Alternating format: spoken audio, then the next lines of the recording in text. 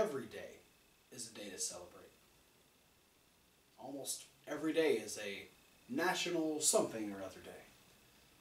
And we But- need to look forward to these days in these dark times of Enzo Amore's Cruiserweight Championship reign. And no day is more important than Rusev Day. Ladies and gentlemen, happy Rusev Day and welcome to Tuesday Night Live. Me tear up a little bit, actually. That's In Rusev we trust. we'll save Rusev for a little bit later. Uh, yeah, SmackDown. We uh, had some more build towards Hell in a Cell as we are just about a week and a half away from said show. Holy moly. Uh, we had Baron Corbin versus Tye Dillinger. We had AJ Styles at ringside. Uh, this was a pretty, you know, a pretty simple match, which uh, Baron Corbin ended up getting kind of a cheap win as he used a uh, a distraction tactic. He tossed some water in the face of AJ Styles. That caused Tye Dillinger to come back out. He actually shoved Tye Dillinger into AJ Styles. They went tumbling over the announce table, and Baron Corbin won by countout. Uh, and uh, proud of his handiwork, uh, he decided to mouth off against AJ Styles and challenge him to a U.S. title match for Hell in a Cell, which has officially been set. Corbin. Still don't like you. We had uh, the newest edition of the Jinder Mahal Comedy Hour, as he he and the Singh brothers made fun of different faces of Shinsuke Nakamura. They were slightly surprised when one of said pictures started to move, and then talked horribly through a Japanese accent with a mouth guard in. Shinsuke, you're not supposed to do that. Yeah, for real. But at which point Shinsuke Nakamura made his presence known, came down the ring, and beat the shit out of all three of them. Yeah. and that was fun. So Shinsuke gets a little bit of revenge after the weeks of the awful Racism. You, yeah, the guy who complains about racism. You all being look the same to me. That that was that, that is a Jinder Mahal quote. Well, the Hype Bros last week decided they needed to do, do something drastic. They needed something to change their losing ways. And so, so, losing to the Usos is gonna do that. well, yeah. They decided to challenge. They couldn't beat the tag team champions.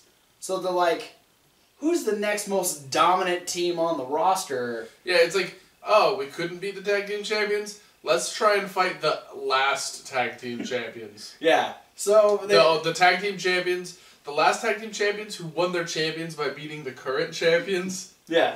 Uh, but like we said, uh, it was a failing attempt by the Hype Bros. It- it- because it, It, it, it's it's Mojo, it was yeah, Mojo logic. or the lack thereof. Like, just be like, okay, well, Brock Lesnar beat Braun Strowman, so let me go try to fight Braun Strowman. Yeah, Like- Dean. Uh, no, it was Don't don't compare Dean to Mojo logic. well. That was different. Mo- Mojo had this brilliant idea that oh, I got my ass kicked the whole match, and now Zack is doing real, real good. So I'm gonna tag myself in instead of letting Zack continue to kick ass. and Zack's like, dude, why? And then Mojo got shoved into Zack. Zack fell out to the outside. Mojo ended up getting a super kick and a super fly splash, and the Usos defeated the Hype Bros. As they should. then shit got real because at ringside, eating popcorn like they usually do when their opponents are in tag team matches, the New Day were hanging out. Yeah, they were actually in the crowd. Yeah, and Big E just happened to have a microphone in his popcorn bucket Yeah. uh, inside the popcorn. Um, Butteriest microphone they all, you know, WWE history. they all said their their little bits and pieces. Uh, you got the crowd to interact a little bit, and then Xavier Woods dropped the bomb, saying they don't just want to defend their tag team titles at Hell in a Cell; they want to defend them inside Hell in a Cell. Yeah. we are going to get the New Day versus the Usos inside Hell in a Cell. He's doing the Braun Strowman lip lick thing. That's when you know he's excited. No, that's this one. Uh, Braun goes up. he does. Okay. Next week, the Fashion Files return. Yeah, no, I'm gonna I'm gonna be real. Going back on the Usos Okay. New Day at Hell in a Cell. Fucking stoked. I mean, I'm pretty sure this is the first tag team Hell in a Cell we've had this decade. Yeah. La- yeah last Um, one was like 2007, and that was the McMahons and Big Show versus DX. And, uh, you know, it's one of those moments where it's like, this pay per view came at such a good time because we're literally peaking out that, like, Usos versus New Day can't get any better than it's been. Yeah. So now let's add on a new thing that they haven't done yet that has a, such a big margin to make it so much cooler.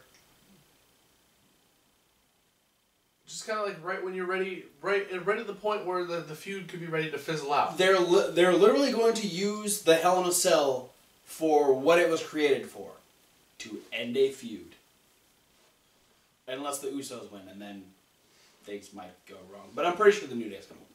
But regardless, Again, New Day. I just want to. I just want you to reflect on the street fight yeah, that you guys had, where you opted to not that use the third person.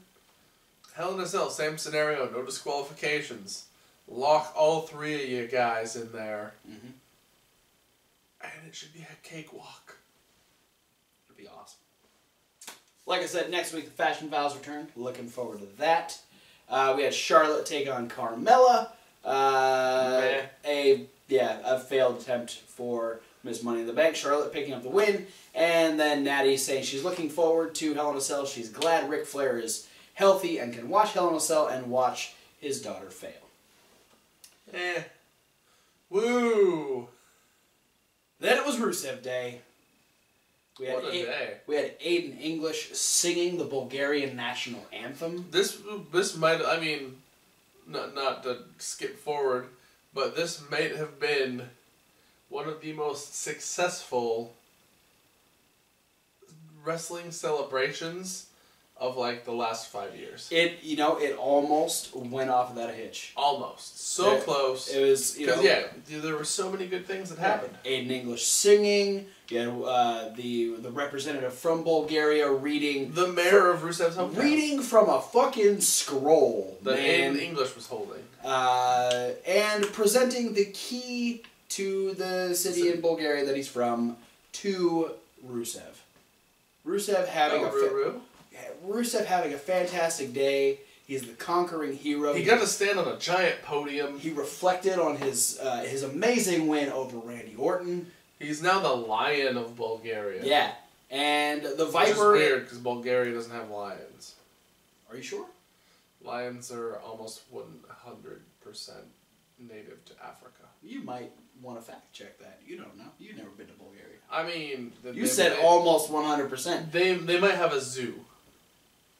That means there is a lion in Bulgaria. Maybe But now, That's that, Rusev. that lion has been shipped off, and Rusev is the lion of Bulgaria. But the Viper is no longer the apex predator. It is now Rusev's jungle. Until Aiden English starts singing again, and then out of nowhere, RKO! Because it's not a celebration without something going wrong. And then Rusev tried to attack him, and ah, RKO! He fucking took that RVD bump again. Which he does fairly well. yeah. Uh, only one who didn't get RKO'd was the mayor. Which is probably a good thing. I don't know. you I were looking opt. forward to it. I, I said he should have been the only one that got RKO'd. And then Randy Orton later on told Renee Young, hey, when Rusev wakes up, let him know if he wants me in the ring, he can meet me at Hell in a Cell. Oh. And Happy Rusev Day. Uh, and then The Undertaker.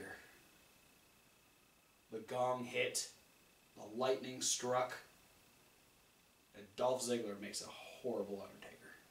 He's too small. He thought he was funny. Crowd didn't like it too much. No. Neither did Bobby Roode. This is a, a, a, to be completely honest though, this is the first time that Ziggler's entrance shtick actually kind of got a reaction from the crowd. The the difference this time is he didn't come out first. yeah. It, I guarantee you, if like one week he had done Shawn Michaels, another week he had done like Daniel Bryan, and then this week he had done The Undertaker, people would have reacted more to the Dolph Ziggler segments. Yeah. This actually got a "You suck" chant. Uh, Which is weird because he wasn't trying to be Kurt Angle. That's an interesting observation. Uh, but yeah, Bobby Roode uh, came out and said, "Well, you know, Dolph, you you say you don't care what they think about you, but you seem to come out here and talk about that quite often." And Ziggler's like, "Oh, look, it's the elaborate entrance and the giant robe and the lack of in-ring talent." And then Bobby Roode's like, "Bitch, meet me at Hell in a Cell." Dolph's like, alright, bitch, I'll meet you. And Bobby Roode said it's gonna be glorious. And then Dolph's After- Hi, I'm Dolph Ziggler. after he stopped Dolph Ziggler from saying, "Whoever meets me in the ring rests in peace." And I'm glad he stopped him for that. But our overarching storyline, which opened and closed the show, was Kevin Owens still not giving a fuck about Shane McMahon. Kevin Owens straight up honey badgering. Yeah, he, boy, yeah, he has hit a different level of uh, heelness. For real. I mean, he- he he is he is so laser focused on just being a destructive piece of shit. So he comes out and he starts running his mouth about Shane and Vince and how he actually kind of likes and respects Vince McMahon. But, uh, you know, what he did was on Shane's hands. Yeah, Uh, then Sami Zayn came out and said, Bro, you have fucking flipped. you have crossed a line, and you need to chill the fuck out. You've before... gone straight off the deep end. Yeah, and Owen, and Owens is like, so. I'm Uh, better than you. Yeah, and then for some reason this became like a, oh, I'm better than you speech. Well, that Uh, really always happens with Kevin Owens. Yeah, but still, I mean, th- this to me kind of like swerved in the wrong direction because I think they should have kept hammering away at the Kevin Owens douche nozzly Yeah. being angry. Uh, oh well, can't change the past. It's already happened. Moving forward, uh, they're about to come to blows when Daniel Bryan comes out and says, "Hey, you guys don't fight because you guys have a match Later. later." So don't fight now. Fight later. I'm just glad that we actually got a, a legit reason why they needed to fight each other, and this is the this is like the first one-on-one match they've had on SmackDown, which thank you for holding off a little while. But that was indeed our main event. The whole the whole thing throughout the night was whether or not Shane McMahon was going to show up. Uh, Daniel Bryan did get a call from Shane saying that he was on his way, and Sami tried to tell him like, "Hey, don't let Shane get involved in the match. It's it's not necessary. You know, let me and Kevin deal with this. Let us let uh, let us just fight it out in the ring, and we'll see what happens." Uh, and they did. They had a hell of a match because it's Sami Zayn versus Kevin Owens. It's always fucking good. Yeah, and then the part where Sami Zayn went awry, because his whole plan was, hey, he said, let's fight it out in the ring. Uh, Mhm. They started fighting on the outside. That's where things got a little shifty. Yep, things don't go well out there. Yeah, I mean, he tried for that torpedo DDT. Kevin Owens kicked him right in the turnbuckle. Uh, That's what you did there. Uh, and gave him the apron power bomb. yeah, that's that. That Which I mean, been, that's been used to, write Sami Zayn off TV twice now. yeah. Uh, let's see if it goes three to three. It's been two straight years of just nothing but that. Anyway, uh, So the match gets called off because yeah, it's re- referee stoppage. I assume. Sam, Sam, the referee's like, bro, this dude is dying. He is. End the match. I wish Lil Nate said it exactly that way. And that would have been fantastic. Kevin Owens was like, I want to sit on the commentary table. So he scoots the slanted top Yeah. back. Just And so he has a little edge to sit on. makes room for his ass. And he just kind of sits there and he stares at the whole scenario while the trainers and medics come out to help Sami. Uh, then he attacks them from behind as they're about to leave. Gets ready to sandwich a chair between Sami's face and a ring post, is what I'm good old, assuming. good old Colombian necktie. And uh, here's where Shane McMahon's music hits. Yeah, and Shane stands at one end, and the camera swings over, and Kevin Owens says, "Bring it on, motherfucker!" and Shane did. Shane brought it on, and then he got hit in the face with the chair that was on Sami's face. Yeah, uh, it was a chair sandwich with face bread. Yeah, he started sprinting down the way, and Owens was like, "I'm gonna meet you." And instead of meeting him, he threw Sammy in the way. So Shane ate one of like the chair legs. Yeah, it poked him right in the fucking face. yeah, got him in the mouth. I'm pretty sure he deep throated a chair. And leg. then Kevin Owens ran like a little bitch. he hopped the barricade and went up the shield entrance. He was fucking out of there. Yeah, Uh, yeah, and Shane's just like just, Shane's just telling him to come back. Like, I'm not done with you. So, either next week SmackDown is gonna get real ugly, or we're just gonna save all the ugliness for Hell in a Cell. both. All right, cool. That's it for SmackDown. Move on to 205 Live. Uh, talk about a couple things in between. First, Lince can't catch a fucking break. Nope. Still. He was supposed to have a match against TJP, and Rich Swann said, Bitch, get out of my way! And then they fought. Rich and TJ. Yeah. Lince just fucking disappeared. Uh, well, you know, it's we're, we're seeing a lot of good Lince magic tricks, Yeah. He can get beat up by invisible people, and he can disappear. and he can't make it into 2K18. Sad day. Uh, we. Hey, you're sad about Lince. I'm sad because there's no Drew Gulak. Speaking of Drew Gulak, he was at a ringside to watch his his buddy, his bro, his his boo thing, Tony Nese, take on Akira Tozawa. And the thing, like, it's- out of all the 205 Live guys, the two most generic wrestler guys, Tony Nese and Drew Gulak, didn't make the game. They would have been like the easiest character models Yeah. to come up with. You just make a buff. Trunks and boots. Yeah, skin, one skinny dude, one really buff dude. Yeah. And it's, they, they literally have both of those body types in the game. Um, but yeah, he was at ringside uh, watching Akira Tozawa versus Tony Nese. Akira Tozawa winning with the top rope senton, a fantastic match.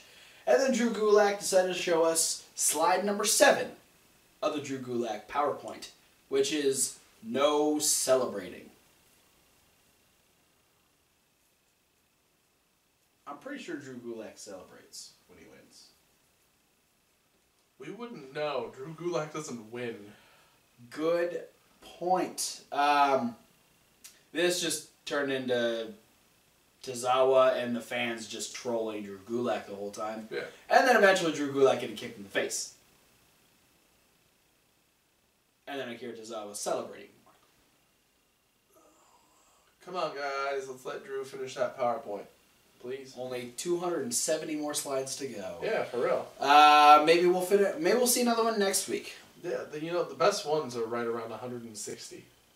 Yeah, only only 153 more weeks before we get there. But next week we will have Cedric Alexander versus Gentleman Jack the Ripper. We had some ominous words from uh, from Jack and Brian Kendrick. Yeah. Uh, a lot of talk about winter and the changing of seasons and stuff on this episode of 205 Live. Uh, we'll talk about the other one in a second. But yeah, that should be a fun match next week. Uh, I'll, I'll be inter- I'll, I'll be very interested to see Jack Gallagher run a whole match heel. Yeah. That'll be fun to watch. But our overarching storyline here, of course, revolved around our least favorite person on the roster, Enzo Fucking douchebag, weasel face, twat waffle.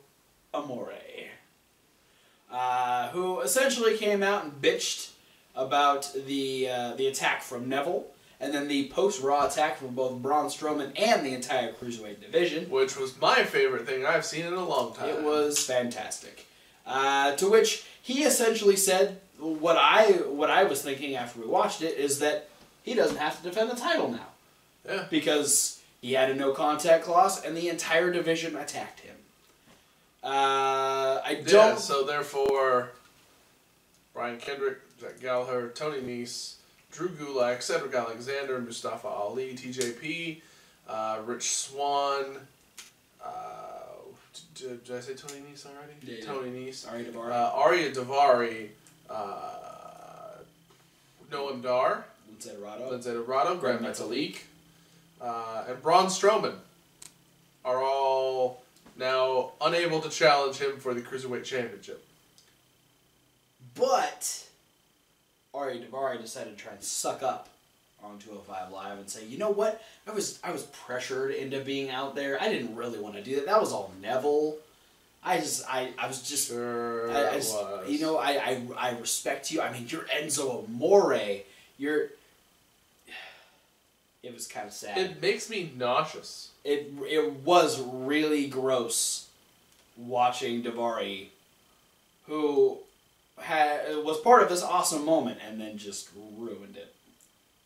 Yeah, for real. Just fucking ruined it. Yeah, man. Your brother's ashamed of you now. Tell him, Sean. Um. Well, Ari Daivari's like, hey, I want to, I, I want to show you just how much I appreciate you, how much, how much I respect you. I want you to watch me beat Neville in the main event. Yeah, he's like, come to come to ringside, be out there when I uh, beat him up. And Enzo's like, I'll be in your corner. He says, ah, yeah, it's one better than actually just being out there is being in his corner. Man, you're gonna taint the corner. No one's ever gonna want to stand in that corner ever again. He was on a whole side of the ring. But before that, we got the glory of the king letting us know that he understands that he forfeited his cruiserweight title rematch, but given the opportunity, he would do it again and again and again. And I'd watch it every time. Because Neville is a gracious king. Mm-hmm. And then we watched him beat the hell out of Daivari. Actually, we watched Daivari beat the hell out of Neville. Yeah. Why a bit because- of the match? Because as soon as the bell rang, the first thing Neville did was uh, after Enzo. go after Enzo, and Navarro was just able to uh, take advantage of the multiple times that Enzo distracted Neville. Ne- yeah, Neville was extremely focused on Enzo on the outside. Yeah. Uh, Man, that was the other thing that like shocked me too. Is just how fast Neville can get out of the oh, ring. yeah, he is he is He a was- quick little fucker. He was just like, and I think it like it doubled up because on me because he's like he walked so slow to the ring during his entrance. Yeah. And then as soon as the bell rang, he like, I'm pretty sure he phased through the ropes. yeah, it, it takes him half a second to get out of the ring. yeah, he phased through the ropes. I'm pretty sure. Uh, It's pretty awesome. And was like right up in Enzo's face. Yeah, uh, yeah, and Daivari took uh, took quick advantage of that. Beat him up for most of the match. Uh, Neville got a few moments here and there. but- Daivari missed a frog splash. Yeah. Uh, and then he he took advantage of another distraction from Enzo and tried to go for his uh, his hammerlock lariat, but Neville was able to duck out of that, do an arm wrench that slammed Davari down to the mat, and then lock in the rings of Saturn and make Daivari tap out. Yeah. And then the gutter rat beat him up with his crutch.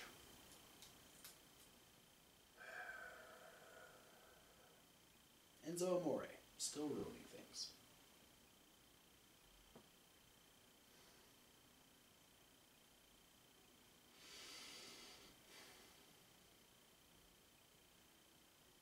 You look like you want to say something nasty.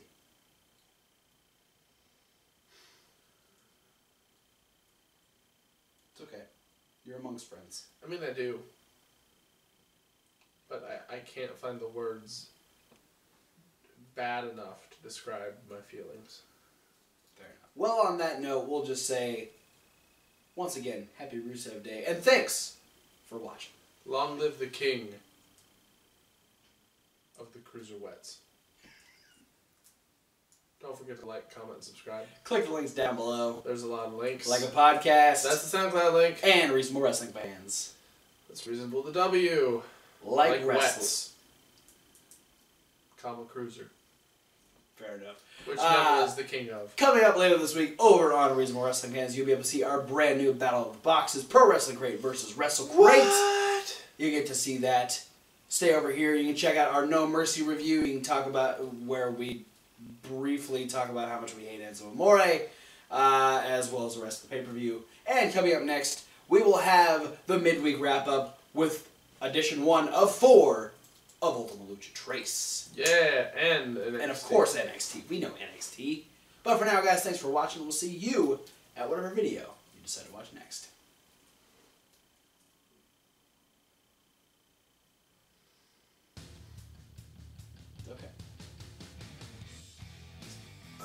Get out. I'm not gonna justify him with, with my words. Just, just enjoy Rusev Day. Mhm. Happy Rusev Day. And long live.